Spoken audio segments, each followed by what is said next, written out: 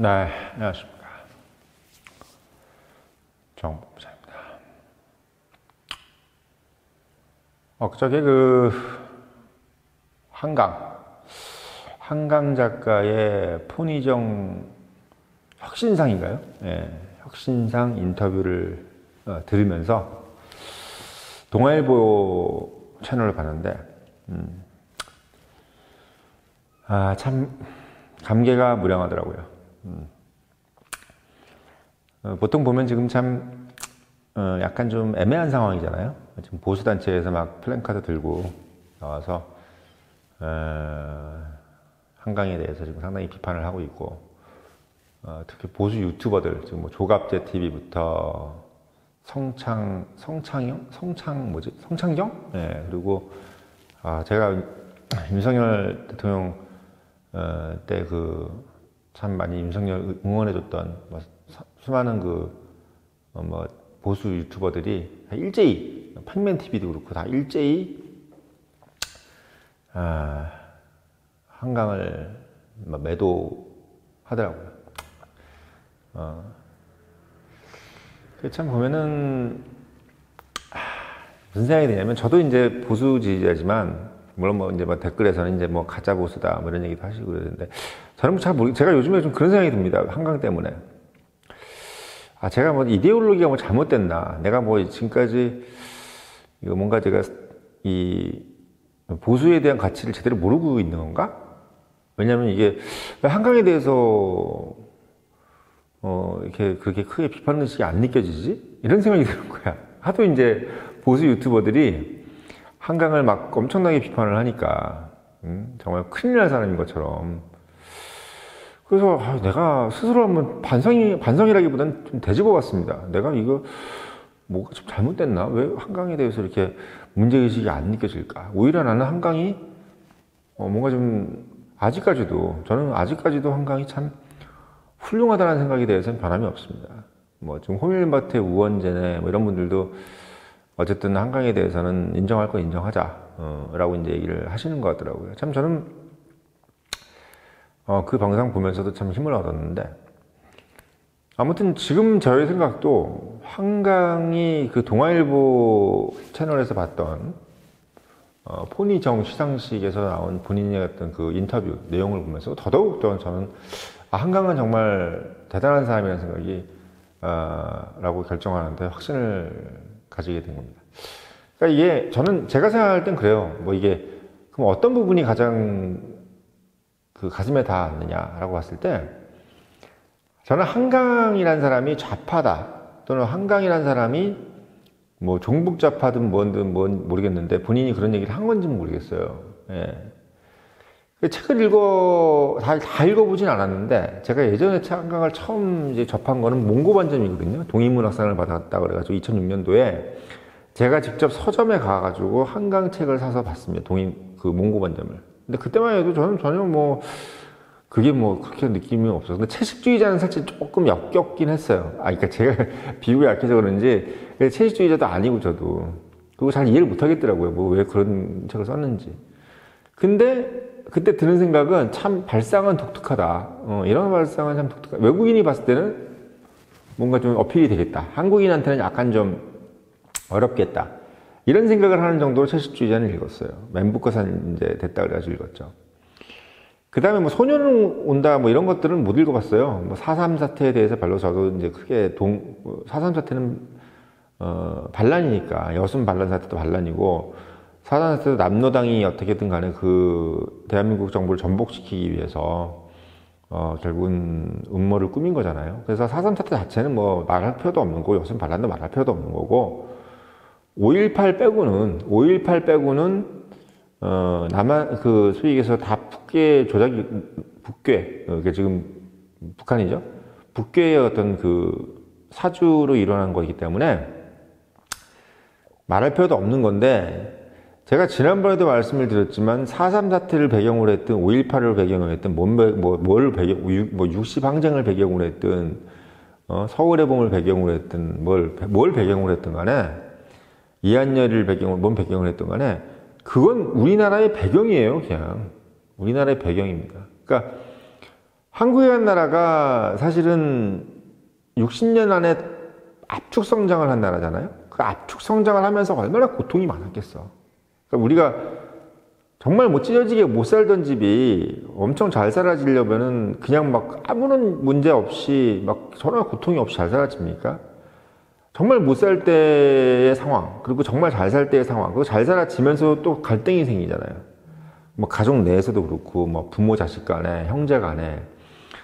압축 성장해서 갑자기 잘 살아지면 형제 간에도 원수되잖아요. 부모 자식 간에도 그렇고, 뭐, 그러면 뭐 장윤정 같은 애들 보면 갑자기 잘 살아지니까 부모가 막 어디 가서 도박하고 다니고, 자식한테 돈 뺏고, 어, 박세리한테 뭐 자식 돈 가지고 아버지가 어디 가서 뭐 투자하고 다니고, 뭐 비일비재하잖아. 다 이게 없이 살다가 갑자기 잘 살아지면 일어나는 여러 가지 갈등 중에 가족 간에 나타난 갈등 중에 대표적인 샘플 아니겠어요?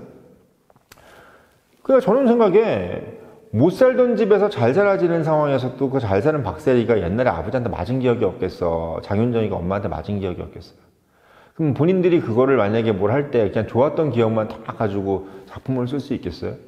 그러니까 한국이라는 나라도 어쨌든 간에 그 오는 과정에서 어 뭐 박정희가 죽은 경우도 있었고 어 심지어는 박근혜 탄핵까지 있었잖아요. 어 그리고 전, 전직 대통령들 대부분 다 지금 구속됐고 몇 명 빼고는 그러니까 그런 상황에서 얼마나 많은 그 압축 성장에 의한 우리가 피해 그, 그 뭐랄까요 고통이 따랐냐 이거야. 그럼 그 환경 안에서 우리나라라는 것을 표현할 때 너무나 좋은 상황. 늘 말씀드리지만 뭐 한강병에서 딱 한강뷰를 보면서 와인 마시고 있는 상황으로 얘기를 해야 돼. 아니면 한국이 옛날에 없어 지금 잘 사는 한국이 옛날에 힘들었던 상황의 배경을 가지고 얘기 쓰고 싶겠어? 아니면 지금 잘 사는 상황을 가지고 쓰고 싶겠어? 그 우리 제가 조갑제 TV도 잠깐 좀 보니까 아 왜 한강은 우리나라가 지금 어 지금 어 그 경제 성장으로 상당히 좀 발전되어 있는 상황을 가지고 글을 쓰는 게 아니라 왜 옛날에 그 힘들었던 상황을 가지고 글을 쓰냐 이 얘기를 하는 거예요. 마치 그 아버지가 야 옛날에 너 좀 때렸고 내가 좀 힘들게 했는데 그거 가지고 지금 이제 와서 너 좀 돈 좀 벌었다고 목에 힘 좀 주는 거야? 막 이런 느낌으로 지금 얘기하는 것 같은 느낌이 좀 솔직히 들어. 근데 나는 그렇게 생각해요. 그것도 우리가 받아들여야 될 역사잖아요. 한국 역사 안에서 있었던 일들이고, 그걸 우리가 옹호하고 말고의 문제가 아니라, 그 상황에서 결국은 무자비한 폭력이 있었고, 4.3 사태가 됐든, 5.18이 됐든, 어? 무자비한 폭력이 있었고, 그 폭력 안에서 희생된 민간인이 있었던 건 맞잖아.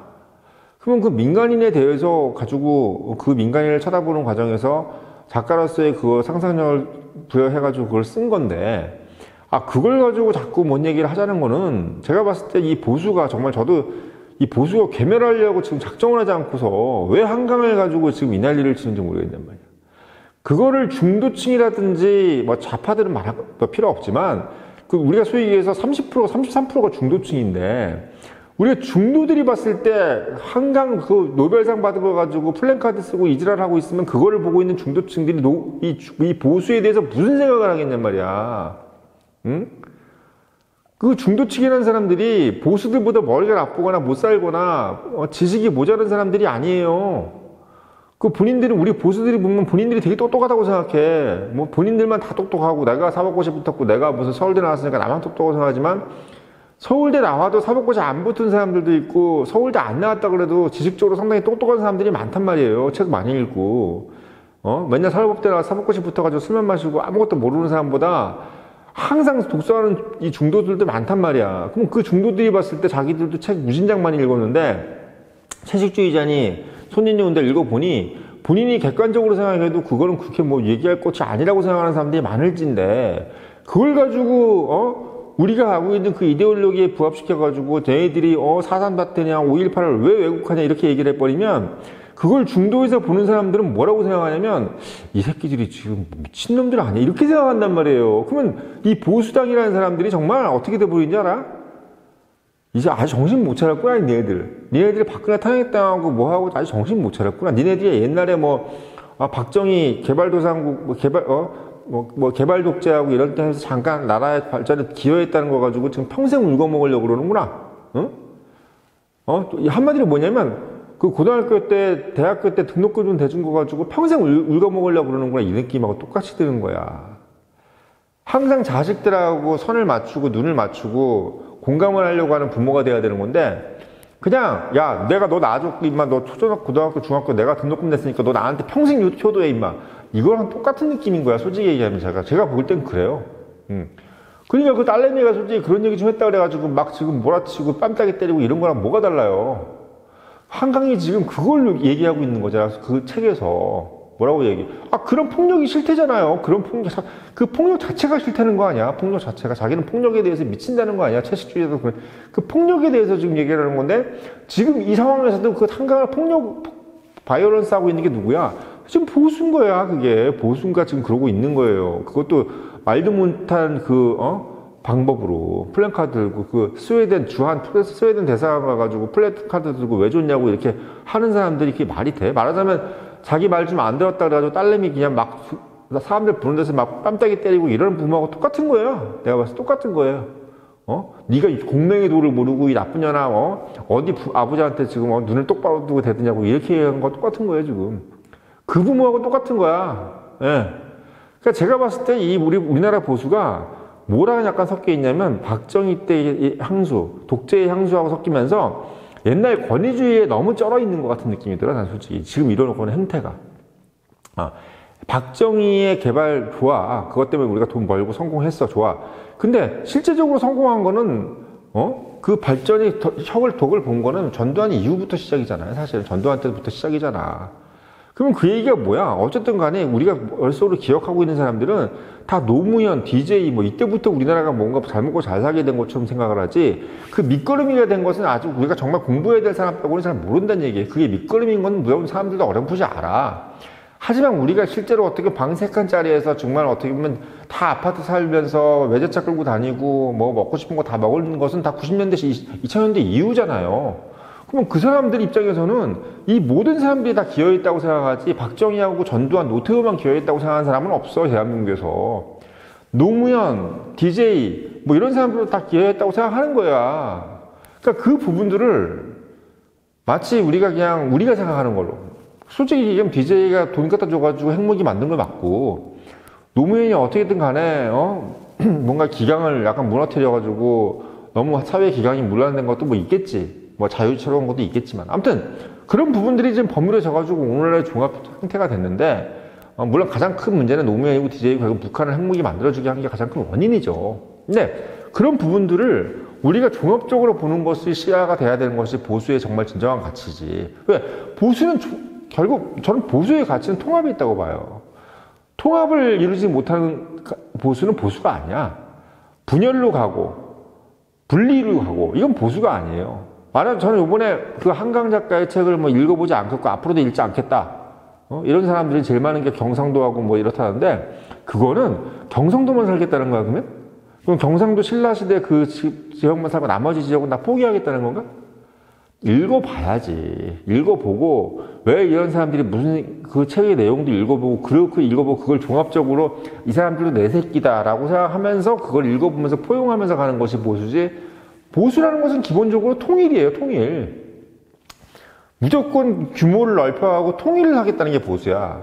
통일, 아, 나 귀찮으니까 통일도 안 해. 아, 귀찮으니까 나 그냥 뭐, 어, 전라도도 싫고, 그냥 나는 그냥 경상도 안으로만 살래. 이건 보수 아니에요. 그건 뭐다. 그냥, 그냥 그거는 쫌팽이, 쫌팽이. 진정한 보수의 가치는 뭐냐면, 전라도도 우리 민족, 북한도 우리 민족 다 같이 해서 대, 고구려라는 것을 만든 것처럼 대한국을 만들자. 정말 대한민국이라는 것을 만들자. 어? 우리가 이데올로기니 뭐니 이런 데 경도되지 말고 우리가 정말 큰 나라에서 한번 살아보는 민족이 되자. 어? 이 큰 나라를 위해서 우리가 필요한 것을 뭐다? 뭐 좌파도 필요하면 집어넣고 다 필요하면 집어넣자. 그래서 우리가 전체가 우리가 하나 되는 그런 어, 국가를 만들자는 게 보수지. 뭐 얘 빼고 전라도에서 빼고 뭐 충청도에서 빼고 뭐 어? 여자에서 빼고 뭐 이대녀에서 빼고 뭐, 뭐 뭐야 어? 뭐 노벨상에 안에서 뭐4.3 사태가 들어갔다고 해서 뭐 폄하하고.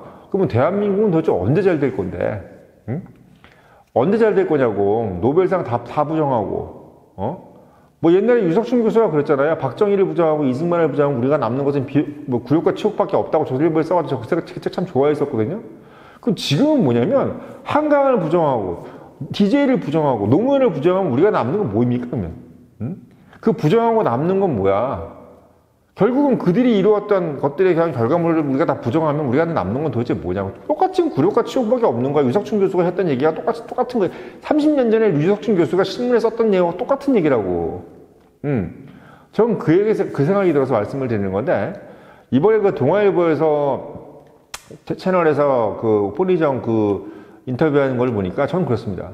제가 민주당 국회의원들 싫어하는 이유는 그리고 좌파 싫어하는 것은 싸가지가 없어 싫어하는 거예요. 말 많고 싸가지 없고 약속 지키고 못 지키고 어? 그리고 말 함부로 하고 겸손하지 못하고. 근데 지금 요번에 이, 이 상강을 보면 차라리 웬만한 좌파들보다 나, 웬만한 우파들보다 나아 차라리 그런 좌파면은 싸가지 없는 우파보다 저는 그런 겸손한 좌파가 낫다고 봅니다. 예, 자기에 대해서 겸손하고 본인이 하는 얘기에 대해서 한 번 더 확인하고 그리고 모든 얘기가 조리가 있고 어. 저는 한국인의 멋을 느꼈습니다 거기서 아, 왜? 저는 솔직히 얘기하면 근래 그 호밀밭에 우원재 씨도 얘기하더만 대한민국 완전히 황금, 황금만년주의 돼가지고 먼 아파트에 사는 거 그거 뭐 어느 뭔 어? 무슨 차 타고 다니는 거 이게 그 결국 우리나라의 계급이잖아. 아 대한민국이라는 나라가 언제부터 이렇게 천민화 됐어요? 이 천민화가 되게 맞는 게 도대체 누구 때문이야? 응? 뭐든지 돈으로 해결해야 된다는 게 도대체 누구 때문이야? 어? 강남 이거 이런 것도 반성해야 돼 우리나라. 뭔 어찌 언제부터 이렇게 맨날 강남 강남이야? 강북도 나라고 지방도 나라야. 이걸 모든 걸 다 포용하는 걸로 가야지. 이건 뭐 맨날 강남, 강남, 서초 어쩌고 이 얘기만 하고 다니는 건 이것도 진짜 지겨워. 어? 옛날에 90년대, 80년대도 이러진 않았어요. 그렇게 난리 쳐도 이러진 않았다고. 지금 이 나라는 내가 봤을 때는 너무 황금만능제 쩌든 나라가 돼 있어. 그렇게 완전 황금만능제 정도되어 있는 한국인만 보다가 맨날 텔레비만 틀면 나오는 게 60평대 산다, 70평대 산다, 60억대 산다, 70억대 산다. 맨날 뭐 박나라네, 뭐네 이런 애들만 나와가지고 자기 돈 많다 이런 것만 자랑하는 것만 받고 맨날 뭐, 뭔, 어, 무슨 차 타고 다니고 한남동에도 원, 어, 한남동에 사네, 뭐 나인원에 사네 이런 것만 자랑하다가 내 처음으로 정말 한국인 멋있는 거 봤습니다. 어? 정말 자기가 뭐 겸손하고, 어? 뭐, 술, 한, 술, 뭐, 이런 어떤 쾌락이나 이런 거에 경도되지 않고, 본인이 정돈되어 있는 한국인도 저렇게 있구나. 저는 그거 보면서 만약에 저 사람이 자파라면 저 자파할래 차라리. 저게 정말 나 저 더 멋있다고 봐요. 맨날 그 플래카드 들고 앉아가지고 어, 분리주의자들 같이 어디서 무슨 그런 짓거리 하는 것보다 난 조갑재 씨보다 차라리 한강이 낫다고 봐. 어, 오늘부터 제가 그건 좀 낫다고 봅니다. 저는 진짜 보수는 분리주의자가 아니라고 봐. 언제까지 맨날 박정희만 연모하고 맨날 옛날 그 제사 지내고 앉았을 거야. 박정희, 노무현, 노태우, 전두환도 탄탄한 베이스먼트를 만든 거지만 결국은 그 이후에 똑같이 계속 올라온 단을 우리가 인정을 해야 될 거 아니에요. 어? 그때까지 있었던 사람들만 인정하고 그 이후에 있었던 대통령을 다 부정해버리면 그럼 어떻게 할 거야 이 나라? 그럼 맨날 그러면 60년, 70년, 80년 다 민, 자민난, 자민난 독재하는 거 하듯이 식으로 국힘만 60년, 70년 우리 대한민국 잘 될까? 절대 안 돼요 저희가 봤을 때. 지금 대한민국이라는 나라는 이렇게 옥신각신하면서 디베이트하고 이렇게 되는 게 중요한 거지. 그게 물론 저는 그 비판할 수는 있다고 봐. 근데 그 비판의 정도라는 게 문제인 것 같아. 스웨덴 가서 저런 것도 문제, 스웨덴 뭐 대사관 가서 그렇게 하는 것도 문제고, 기본적으로 모든 유튜버들이 다 우파 유튜버들이 무슨 한강을 아주 마녀 취급하듯이 그렇게 막 사진도 마녀로 해가지고 막 페이스북에 돌아다니더라고요. 아, 창피합니다. 사실 창피해. 그러니까 다시 한 번 말씀드리지만, 정말 한강에 대한 비난은 정도껏 해야 된다고 봐요. 그냥 그 정도 지적하는 정도, 4.3이나 이런 거 정도는 그렇게 하는 것이 아니다. 라고 정도 지적하는 정도로 끝나야지, 그 사람 자체에 대해서 마녀화하고 그 사람을 비하하는 것 자체는 정말 제가 봤을 때 진짜 보수의 모습이 아니라는 생각이 들어서 오늘 영상 올렸습니다.